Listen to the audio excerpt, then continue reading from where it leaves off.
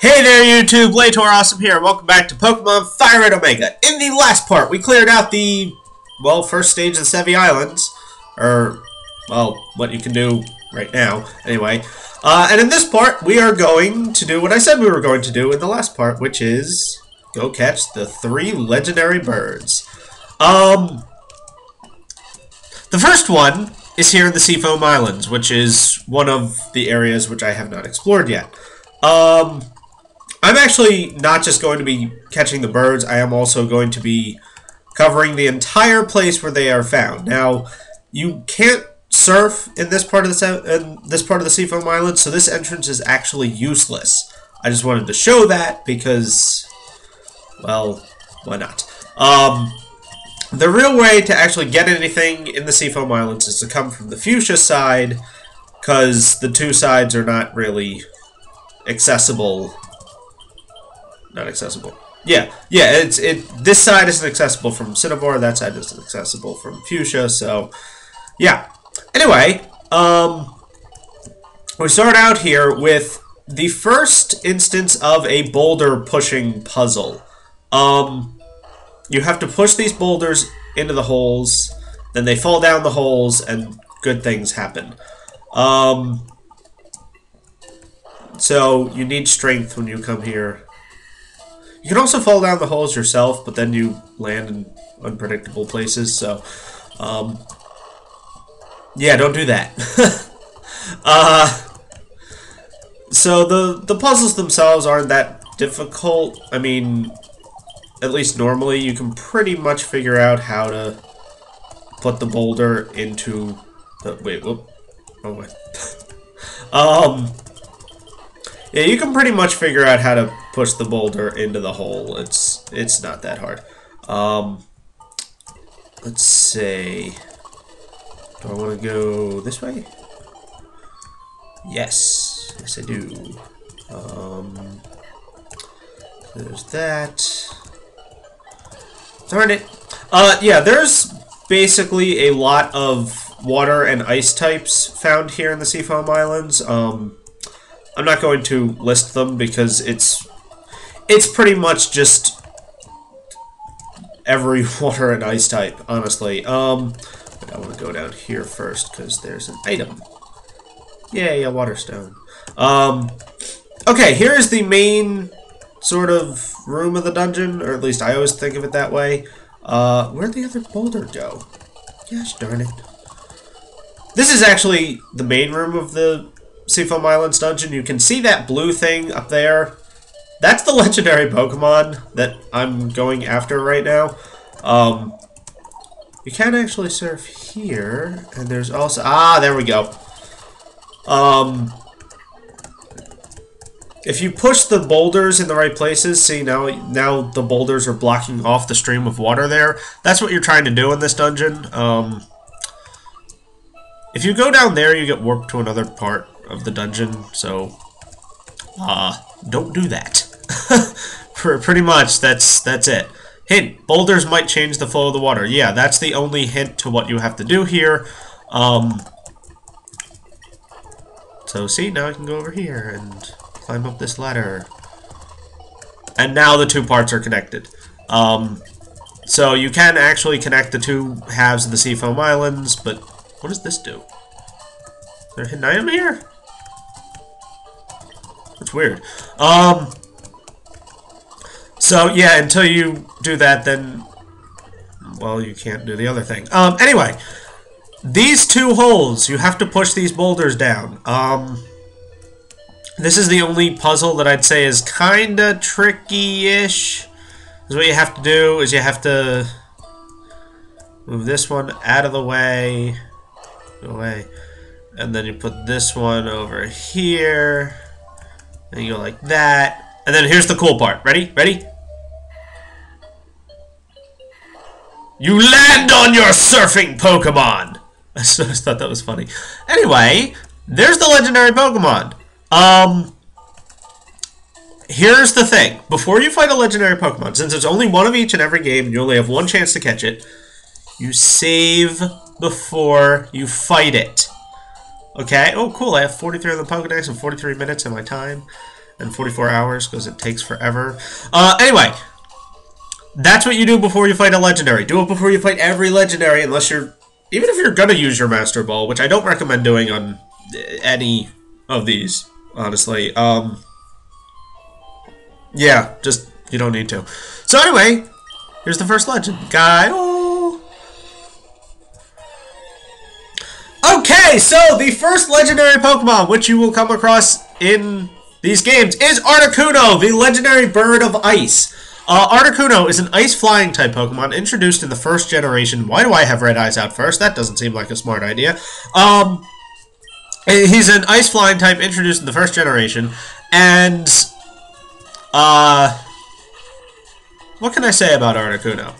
Um, in the metagame, he's not very good like at all. Um, he's just kind of, uh, how do I say this? He dies real quick.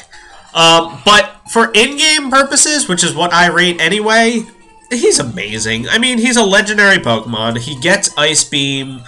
Um, he gets flying type moves, pretty much whatever you want. He has it. Um, he gets a 10 out of 10 in game. Most of the legendaries will. Not all. Uh, some of them are not that fantastic. And, okay, here's the part where I'm just going to speed things up. I'm going to run the legendary battles at normal speed until I get to the part where I'm just chucking Pokeballs at them. Um, he, he has Ice Beam. Uh, that, oh, wow, that was quick! yeah, I'm I, I normally don't have too much trouble with Legends. Um, but one of the legendary bird Pokemon with its long tail trailing behind its flying form is magnificent. Yeah, so Articuno is, um, no, I'm not giving you a nickname. Um, Articuno is a legendary Pokemon, and yeah, it's cool. I don't know. I mean, that was, oh god, that was so punny. Um, cause, cause ice and, and stuff. Oh, shoot. My repel ran out, and I'm lost. So, I'm going to use an escape rope to get me out of here. Um, so that was the first legendary Pokemon, Articuno. Now, to go after the second legendary Pokemon. Um, now, I caught Articuno first for three reasons. The first one is that it comes first in the Pokedex, which makes it kind of cool. Uh, the second one is that its dungeon is by far the most annoying to me, so I wanted to get it out of the way. The third is there's actually something um, that I picked up on a long time ago. If you catch, if you want to catch all three legendary birds, if you catch Articuno first, it has Ice Beam. Ice Beam has a 10% chance of freezing the opponent. So, if you want to just have a sort of easy route of catching the other two legendary birds, catch Articuno first, bring it to the other fights, use Ice Beam right away, and there's a 10% chance that they'll be frozen. And they'll always pretty much be brought down to red health or close enough to it. Um, so, you know, that's just a strategy. Uh, it works especially well in red and blue version, or red, blue, and yellow, because then they can't unfreeze. In these games, they can. Um, so if you used Ice Beam once at the start of the fight, you could just freeze them, and they would never be able to uh, Get unfrozen. Oh, right, yeah, there's that hole in the thing here. I didn't even have to surf. Anyway, next we are going here to the power plant. Um, which has kind of cool music. I like it anyway. Um, now the power plant here, as you can see, there's a hint of a legendary right there. Uh, yeah, all the legendaries have their own sprites in the field, which is really cool, I think. Um, oh, that's exactly what I wanted to talk about. In the power plant, there will be Voltorbs and Electrode, which are extremely fast Pokemon, which is why I'm going to put Captain Zap up front. Um, yeah, they're extremely fast Pokemon who look like Pokeballs and self-destruct, as you just saw. Um, so you can like look up a guide as to which ones are which Pokeballs on the ground are items and which ones are well not. Um, you can also find a bunch of other electric types here, uh, including Electabuzz, I think. Or at least in most of the time. Wait. Hold on. I skipped something. Darn it, I always do... Ah! Ah, see you, Magnemite. Um... Where is the entrance to that? I always skip that because I go straight for the legendary. And then I miss out on these items here. This is gonna be a... No, it's a, not a Voltorb, it's an Elixir. Um... Darn it. I run through repels so fast in here because I'm always taking wrong turns or going too far or things. Anyway, this is the easiest of the dungeons in my opinion because you just run through a straight line and there's the legendary Pokemon. So, what I'm to do right now is save because it's a good idea. And now I'm going to fight you. Gaio! Now, okay, here is the second legendary bird Pokemon, and the second legendary Pokemon I'm covering here, Zapdos. Zapdos is an electric and flying type introduced in the first generation. Uh, he... I can actually say a lot about Zapdos. Um, Zapdos is amazing. Uh, in the metagame, he's really good. He he hasn't always been, um, but most of the time he is. And, uh, he's just like he's fast. He well, fast enough. He has good attacks and he has a pretty good defense, which means that ah shoot. Um, I wanted Thunderbolt to do a little bit less than that so I could have another shot at it, but whatever. Um, how am I gonna hurt you just a little bit? Anyway, uh, so he's incredible in the metagame, and he's also incredible in-game. He also gets a 10 out of 10 for in-game use. Uh, electric Flying is a almost unique typing. Um, in the fifth gen, another two electric flying types actually uh, were revealed. Yes! Didn't kill him. Um, oh wow, Drill Peck. That's gonna kill Ned. Ned, paralyze it with your Effect Spore, would you? On. No! Oh, oh, oh, oh. Well, I'm pausing the video and restarting the game. Hold on. Okay, I'm back. Um, I'm gonna super speed now because, well, stuff. Um, darn it, you used Thunder Wave. Uh, no, not burn! Oh god, why? Catch it! No, it died again! Hold on. Okay, Try number three. Don't die this time, please. Yes! He got paralyzed! I'm so happy. Now that he's paralyzed, he can't die to other statuses. Uh, I'm just so happy. And plus, he'll be easier to catch. Um, so back to what I was saying, Zapdos as an electric flying type is a really good type. Um, he has only, he doesn't have a weakness to ground, which all other flying types do. Um, he can get his... He doesn't actually have the best move set. Um, you'd have to teach him Thunderbolt through a TM, but... Wait, is that in the... I don't know if that was in the shot or not, but... I don't know. Um... Yes! He was caught. Okay, one of the legendary bird Pokemon. While it's flying, it makes crackling and snapping sounds, because it like creates thunder and stuff. Um, so that's the second le legendary bird caught, and then you just exit right there, and yeah, can't reach it right away because there's that ledge there, and as everyone knows, it's illegal to hop over a ledge that's like three feet tall. In the Pokemon world. I don't know about in the real world. Um,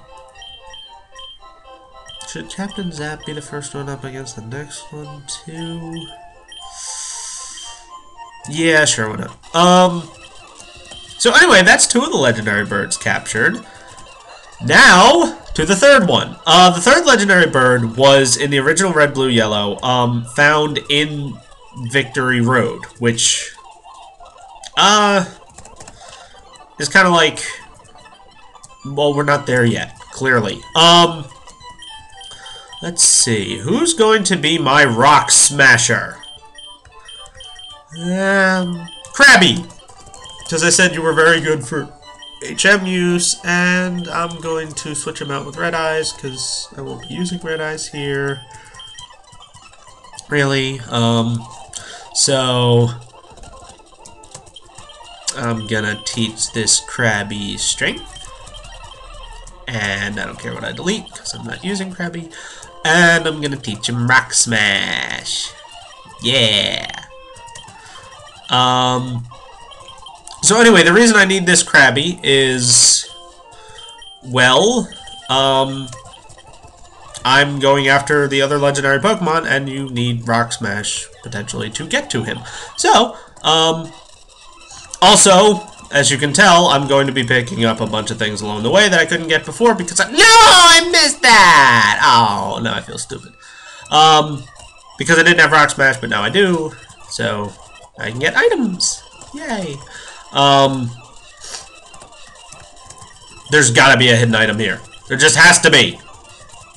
There isn't. Makes me angry. No, seriously, why isn't there? Oh yeah, I could also go in there, but I'm not going to just yet. Um, that's going to be in a later video. I'm going to be covering those things. So, yeah. You'll find out what's in there eventually. It's it's it's a legendary Pokemon. I, I just want to warn you of that. What the heck? What? That disappeared? Okay. I really hope that reappears at some point, cause cause otherwise, oh boy. Um, that's that's kind of um. I that's kind of necessary later. So I really hope that comes back after I beat the Elite Four, maybe. Um. Eh. oh, this would be so. I know strength made it possible to move boulders around. What do you think I'm? There we go. Um. Anyway, that's the solution to that rock puzzle to get your Firestone. You didn't actually need uh, Rock Smash to get here, I guess. You need strength, but Anyway, here's the third legendary bird. uh, yeah, it's on top of Mount Ember. They moved it in this game because I guess they wanted to put something really cool in the Sevii Islands right away. Uh, you can get him on your first uh, trip here. Um, I mean, you can technically get all the legendary birds as soon as you have Surf. So, you know, if you need help in like Saffron City or against Blaine or anything, you can go get these guys. Uh, yeah, so Anyway, uh, I just... I, I'm double saving here, aren't I? Whatever. Guile? This is the third legendary bird. Um, this is... is Moltres. Uh, Moltres is a fire flying type introduced in the first generation. Um, it, along with Charizard and Ho-Oh, I mean, um, some other legendary Pokemon that I'll cover later, they're the only fire flying types uh, in the games. Um, so, that makes Charizard the only uh, non-legendary Firefly. Oh, it used Endure! I could have Thunder Punched it. I mean, Thunder Bolted it. Yeah. Um, anyway, Moltres here. Uh, I always kind of view it as the least of the legendary birds. Um, just because, I mean, Fire Flying is a really good type, but he's just not as I don't know. He's just not as good as all the others, uh, in my opinion. Um, that's not to say he's a bad Pokemon or anything like that. Uh, he still gets, he's still fantastic for in-game, and he- Oh yes, I froze him!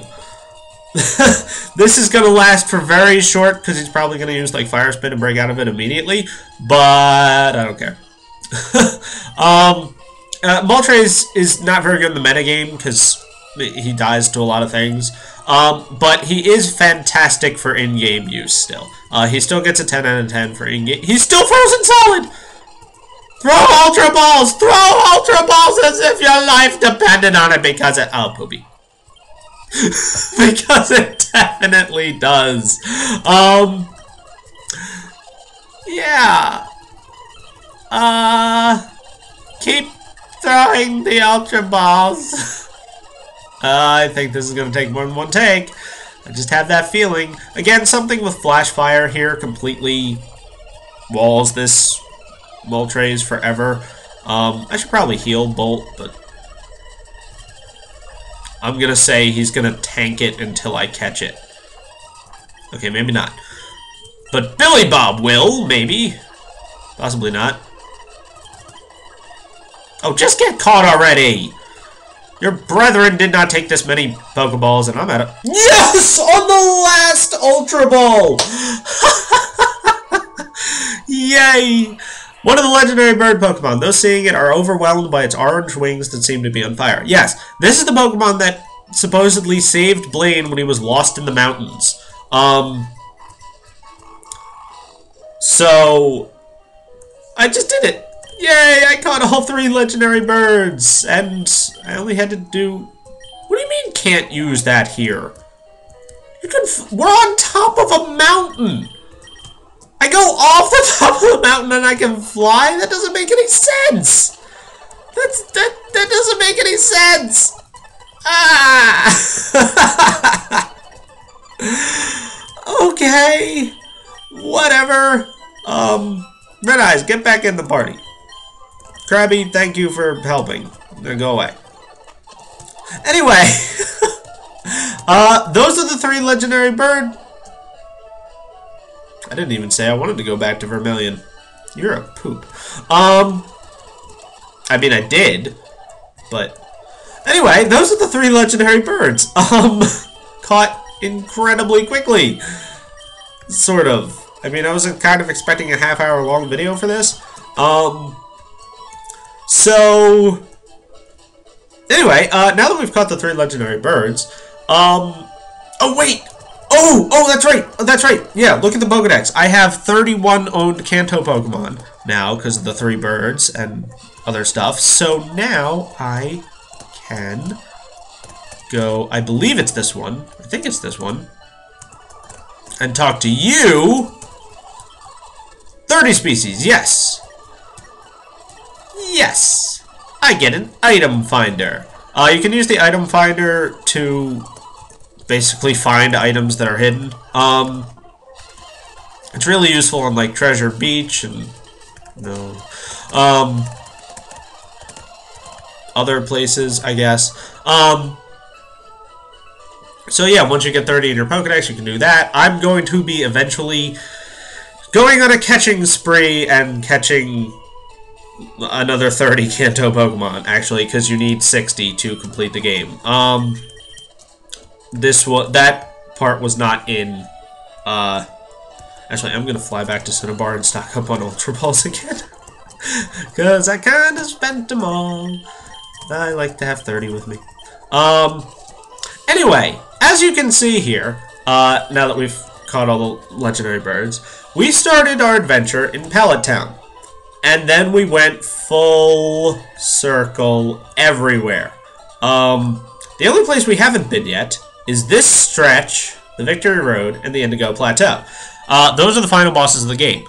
Um, but you can't go here until you obtain all eight badges. So, we have seven badges, and the only way you know what to do next is if you paid at least a little bit of attention during the game, and you know that there was an empty gym here in Viridian City. I'm going to fly there real quick. I mean, not real quick, I'm not super speeding right now. Um, this gym was empty for the entirety of the game, and it will be empty for the entirety of the game. Who are you? Oh, you gave me the old rod, didn't you? Probably. Um, the leader returned. Yes. Uh, the gym sign still doesn't know who the leader is. The leader has never been revealed up to this point. Um, oh, in the in the original games, on your trainer card, it had pictures of the gym leaders uh, before you got their badges. Um, there's my team. uh, but and and the eighth gym leader was just covered in shadows. So you go in here the gym leader has returned. He doesn't know the gym leader's identity, and it'll be the toughest of all trainers, and he likes ground-type Pokemon. Leader, question mark, but your rival already won!